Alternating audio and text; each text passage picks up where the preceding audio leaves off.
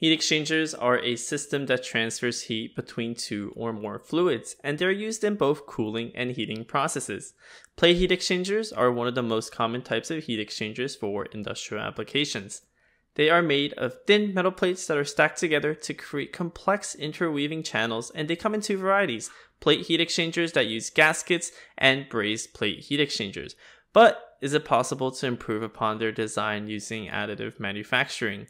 Hello everyone, Yuki from nTopology, and today I'm going to show you how to create a customizable heat exchanger in the form factor of a traditional plate heat exchanger. Let's get into it.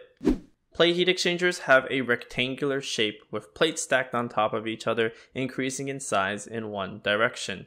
Our design goal today is to create a heat exchanger that has exactly the same external dimensions as a traditional plate heat exchanger and take advantage of additive manufacturing to increase heat transfer efficiency. We could use such a design to replace traditional heat exchangers in existing thermal management systems where we would need higher performance. So I created this workflow in nTopology that generates a fully customizable heat exchanger. Let me show you how it works. First, I defined a box and shelled it. I used the length, width, and height of the box and the thickness of the shell as my input variables because I want to control the form factor of this heat exchanger. Now for our box shelled out and rounded, I added the inlets and outlets. So I took a cylinder and made it so it would always be placed at the bottom of the shelled box and in the corner. So if I was to make any changes to the dimensions of the model, it will not break.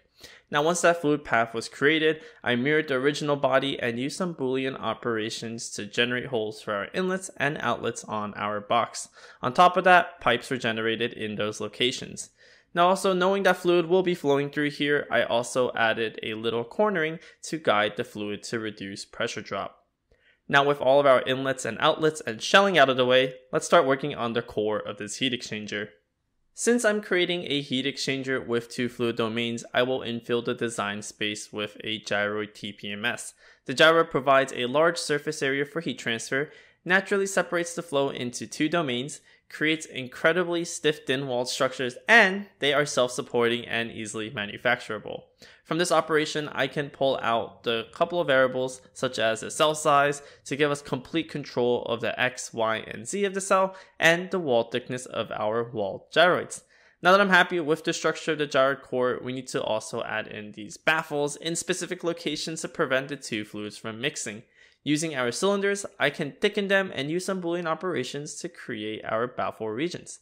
I pulled out the thickness parameter here to be able to control the thickness of the baffles as well. Now to wrap things up, I used a simple boolean union to combine all of the elements of my heat exchanger to generate the final design.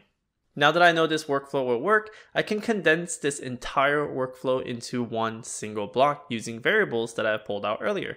If I was to open a new instance of nTop and import the condensed workflow, I can change up a couple of inputs over here and it will output my new heat exchanger, allowing me to generate and go through multiple design iterations of it.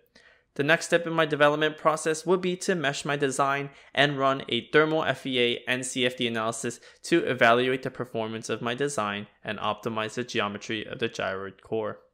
Now, why would you want to do this? Maximize heat transfer, minimize pressure drop, minimize size, and more. While there are advantages of a traditional plate heat exchanger, there will also be some disadvantages.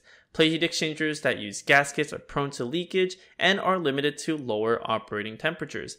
Brazed plate heat exchangers don't have these issues, but are still connected with high pressure drops requiring a larger pump and increasing energy consumption. Having a TPMS core can create heat exchangers with higher efficiency at the same or more compact size. With nTopology, you have full control over the design of the gyroid core from the thickness of the wall gyroid TPMS lattice down to the cell size and conformal cell map. This way, you can optimize your design and minimize pressure drop. The design automation capabilities of nTopology can also accelerate your product development process, from faster iterations to automated generation of whole product families, even to mass customization. This way, you can create a heat exchanger that works for your application. I hope you're able to get a lot of insight into what nTop is capable of. Thank you, and hope you learned something new today. If you want to download this nTop file, go to ntopology.com on the resources, videos, find this nTop live, and at the bottom, just fill out this form and download the nTop file. If you want to learn more about nTopology, contact us by filling out a form to speak with an nTop expert. Lastly, check out our support page at support.ntopology.com and type your questions here if you have any other questions. Thank you.